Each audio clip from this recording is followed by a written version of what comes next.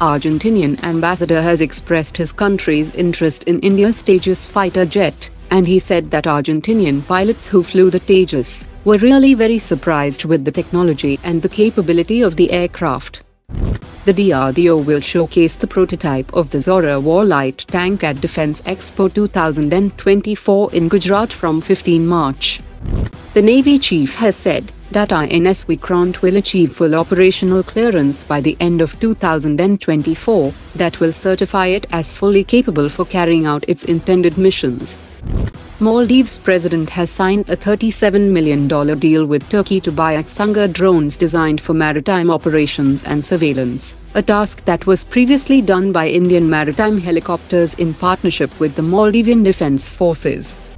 In response to Iran's airstrike inside Pakistan, Pakistan Air Force has carried out retaliatory strikes in locations within Iran, Bharat Electronics has received a 695 crore rupees order from Mazagon Dock shipbuilders for the supply of spares related to missile systems.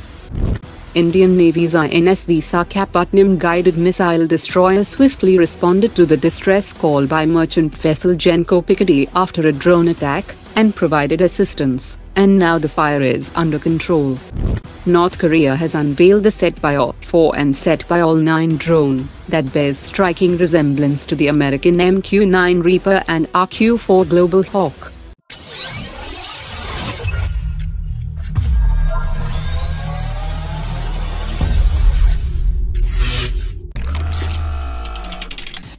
The Indian Air Force is looking to procure 20 passive surveillance system under Make in India program that would be used for air defense surveillance and ground-based electronic intelligence gathering.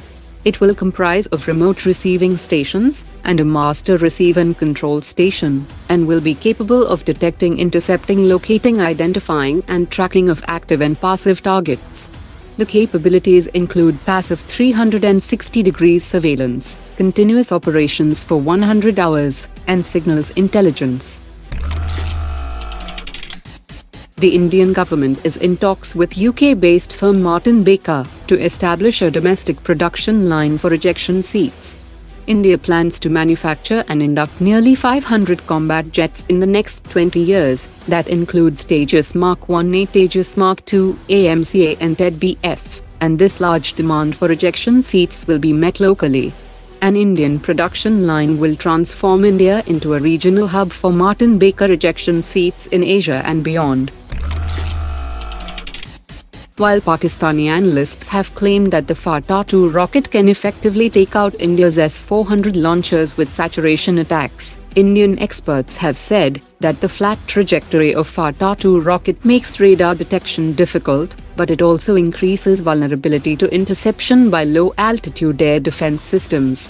The Fateh-2 will also be prone to electronic warfare near the S-400 launchers, and more than 40% rockets will overshoot and undershoot in high extensive spoofing environment. Indian Swati weapon locating radar can easily detect and track incoming artillery rounds and rockets and even locate enemy launchers, which will instantly become target of Indian counter battery. Prime Minister Modi has inaugurated an international ship repair facility at Cochin shipyard worth 970 crore rupees that will attract international clients seeking high-quality services. Prime Minister Modi also inaugurated a 310-meter-long dry dock at Cochin Shipyard Limited worth 1,799 crore rupees.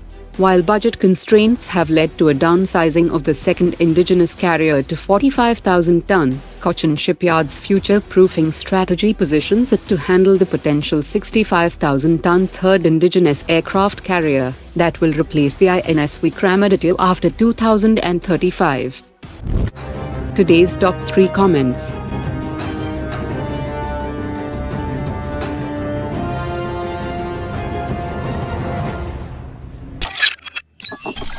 I'm sorry.